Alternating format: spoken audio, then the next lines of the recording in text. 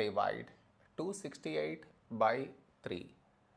To do this division, we should frame it in this way. 268 here, 3 here. This is your step 1. Next, here we have 2, here 3. 2 smaller than 3. So we should take two numbers 26.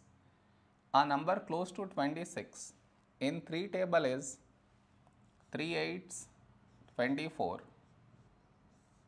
Now we should subtract, we get 2.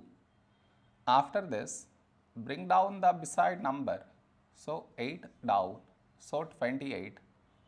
A number close to 28 in 3 table is 3 9s 27.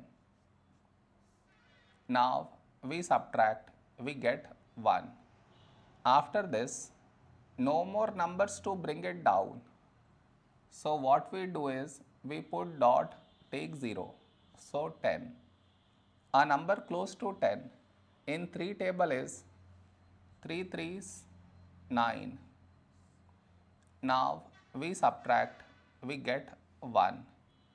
Now you observe, we had 1 here and we got 1 again. That means this number keep on repeating. So this is our quotient.